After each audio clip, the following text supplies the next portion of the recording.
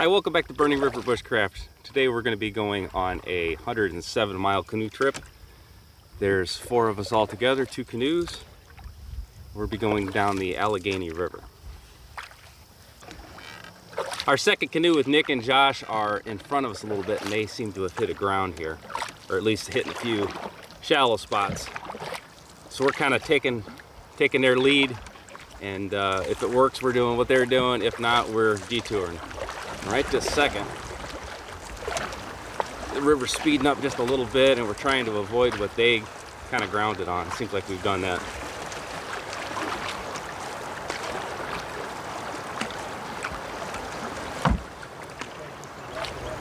Copy. So the river's pretty flat primarily. Between these islands and some of the channels, the current picks up. We had a pretty quick day on the water on our first day, and today we've got class twos coming up. The water is up a little bit. The river water is controlled by the Kinzua Dam. And it's gone up the last two days in a row.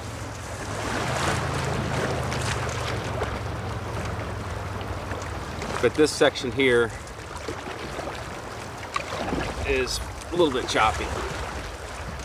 But that beats dragging the canoe.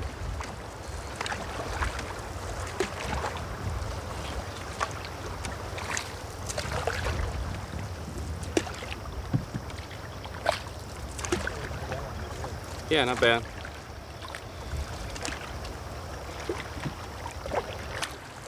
So while I'm paddling, go ahead and take a second and click like, click subscribe, and ring the bell to be notified of my next video. So for the first 50 miles of this trip, we got the Allegheny River Paddle Guide from Allegheny Outfitters. And it's been a pretty badass map and guidebook. It's been spot on with time and mileage and landmarks, but we're running out of it very shortly here. This is actually a fairly undocumented river. We were having a heck of a time finding maps. We've got paper backups once we get off our guidebook map, and there's like a five mile stretch of unmarked river so we don't quite know what's up ahead of us. And very soon we're going to be off our laminated map and we're just floating with the current at that point. Camping is going to get sketchy. We were through uh, National Forest, Allegheny National Forest. They had like island camping. There were seven islands. We've camped on two islands so far. Great camping. Looks nice. But uh, coming up here, I don't know what we're going to end up getting if we paddle hard enough, it'll seem like a good campsite when we get there. The uh, wind, you'd never be able to hear paddling. Here's canoe number two, Nick and Josh. We brought them along for our stunt doubles for the coming rapids. It was in my uh, contract that I couldn't do anything too dangerous, so we had to get these guys. They're setting the pace and finding all the big rocks ahead of us. We found a few. Mm-hmm.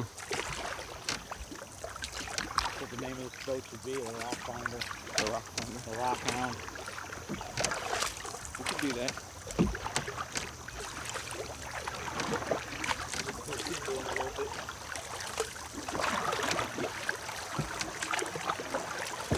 We just come to say hi. Close up.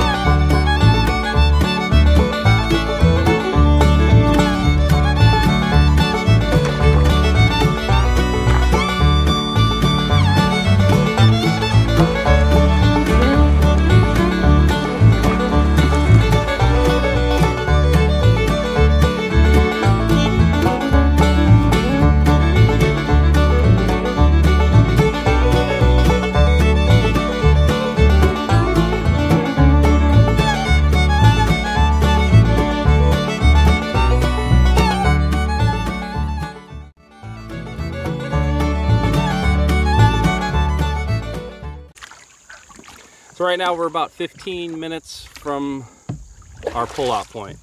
So we are probably, I don't know, 105 miles, 106 miles into this or something. So I'm gonna call it good. We got bad weather rolling in, so I'm gonna put the camera away before it gets wetter than it already did on this trip. But it's been a great trip. I highly suggest the Allegheny River. Uh, it's it's a good trip. It's been four days, three nights, uh, pretty good camping the whole way through. Uh, wild camp the whole time basically. And I got it all done with the homemade paddle here. So this was a pine uh, two by or it was a pine five quarter by six inch board. Uh, probably will go with an eight inch wide for a beaver tail later. But this has been a good paddle. Got me all 100 miles.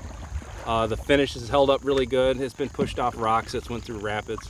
We did hit rapids in Oil City, and there was a couple big swells that we encountered. But it's all good. So until next time, this has been Jamie Boggs with Burning River Bushcraft. See you soon.